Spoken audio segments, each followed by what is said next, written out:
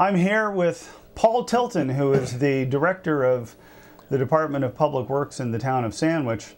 And there are a few things that are going on in Sandwich as far as road construction, paving, that type of thing.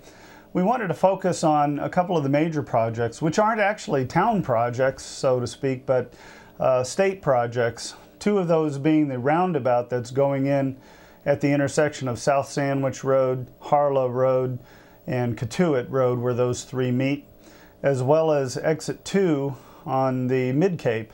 So let's let's start off with this roundabout. The uh, intersection down there got a lot of attention because we understand it was um, the site of a number of accidents. Mm-hmm. Yeah, this, this location was ranked number two on our high accident location in Sandwich, um, right behind exit uh, two. And we, have uh, attempted to make some improvements over the years. We did some studies, we made some minor improvements. We did see some reduction in accidents, but it wasn't enough um, to actually reduce the, uh, the, the, danger out at that location. So we were looking to um, further make improvements out there. Unfortunately, uh, a program came along through the Mass DOT system called the, the Highway Safety Improvement Program, which allowed us not only to, to have the state design it, but also construct uh, the, uh, the improvement out there. So the idea of having a roundabout as opposed to a four-way stop, mm -hmm. what, what's the rationale? We did look at a, a, bunch of alternatives. One was the four-way stop, and I think we, we used the, uh, the example over in Barnstable, the, the race lane at 149 roundabout. Initially, they had uh, just two stop signs. They had a lot of accidents and delays there. They went to a four-way stop to see if that would improve uh, the situation.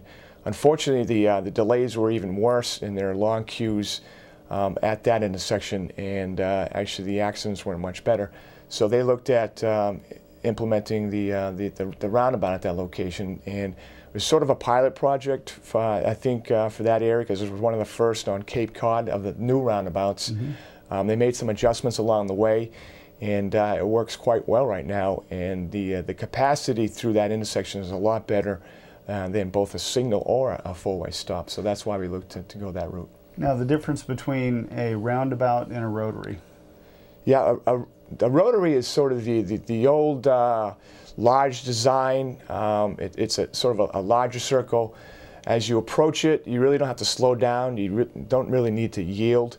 With the roundabout, what it does is it increases the deflection angle as you approach the intersection. So you, are forced to slow down. Um, you almost have to take a right turn instead of yield. Um, it improves safety as, as well as flow through the traffic island. So because it's smaller, mm -hmm and there are longer trucks and uh, ladder trucks and things like that from the yep. fire department that have to negotiate these.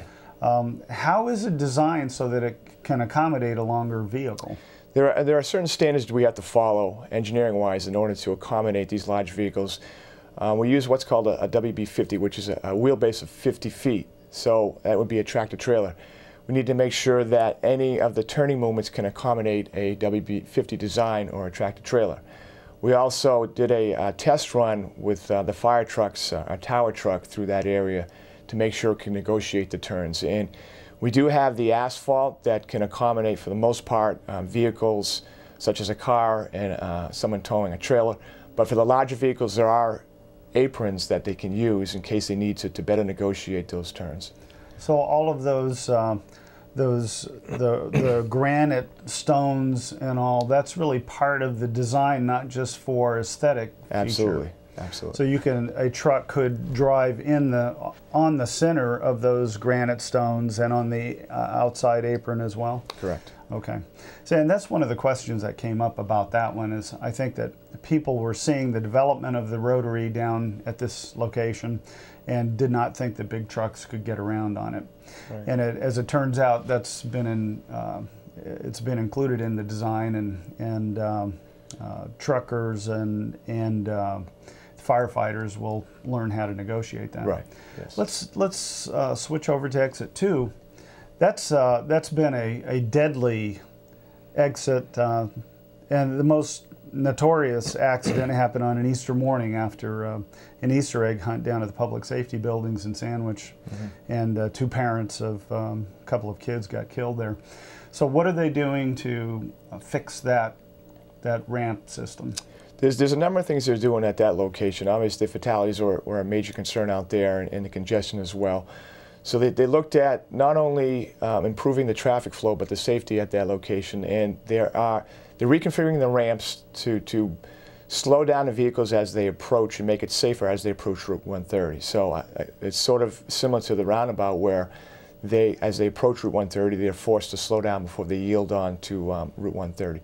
Um, so that helps safety at the ramps. They're also installing traffic signals. And the biggest problem with, with intersections is left turns. How do you deal with the left turns in terms of the delays that the left turns have and also the safety issue with the left turns conflicting with other vehicles.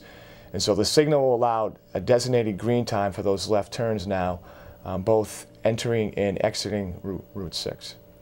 And what is the estimated time that they're going to finish uh, not only the exit uh, 2 work, but the roundabout down on Cotuit Road?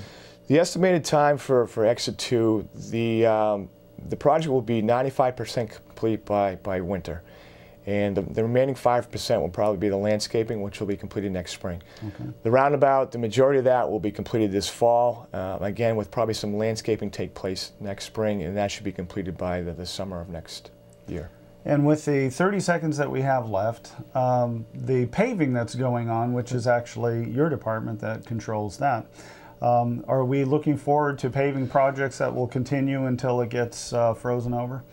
Right, we'll continue the, the paving projects uh, up through November and um, weather depending, uh, dependent obviously. If we have some rain, we might have some, some changes in schedule, but that'll be completed uh, by November and uh, um, we'll look to start up that probably next spring as well. That's sort of a continual process. We try to slow down a little bit in the summer because of the, the, the traffic though. Right, needs to be done though. Absolutely. Yeah, there's a lot of pavement out there that's uh, lifted off the, the road base, and so Right. um, uh, people are looking forward to getting those roads fixed. I appreciate again that you've come by and talked to us about this, and I look forward to talking to you again soon. Okay, thank you. My pleasure.